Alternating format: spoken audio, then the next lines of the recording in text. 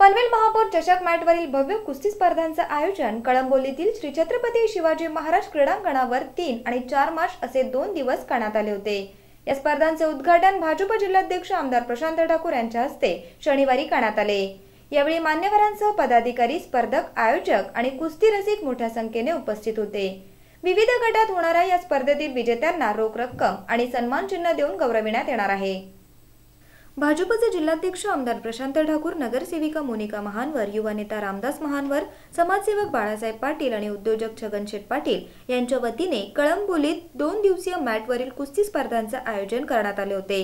या कुस्ती स्पर्धेच्या उद्घाटन समारंभाला महापौर डॉक्टर कविता चौतमोल यांच्यासह उपमहाराष्ट्र केसरी पैलवान किरण भगत या मान्यवरांची प्रमुख उपस्थिती लाभली.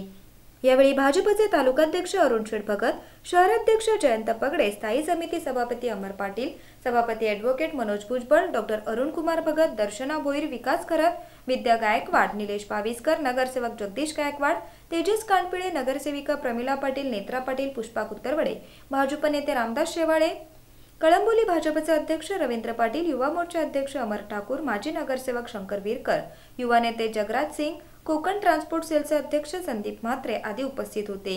या स्पर्धेचे निवेदन अजित कदम यांनी केले.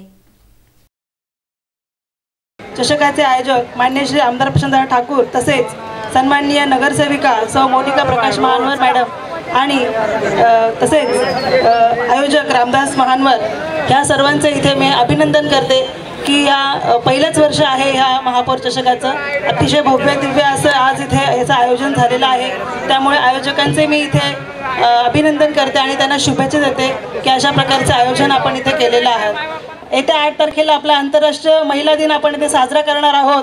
आणि त्याच दिवसाच्या उद्देशाने मी इथे सांगू इच्छितो की कुठल्याही खेळामध्ये पुरुषांना सांगू इच्छिते की कुठलाही खेळ असो कुठलंही क्षेत्र असो महिला कुठेही मागे नाही आहेत आज आपण त्यांना जर पॉलिटिक्समध्ये बघत असाल डॉक्टर इंजिनियर बघत असाल तर आज कुस्तीच्या आखाड्यामध्ये महिला मागे नाही आहे एवढंच मला सांगायचं आहे.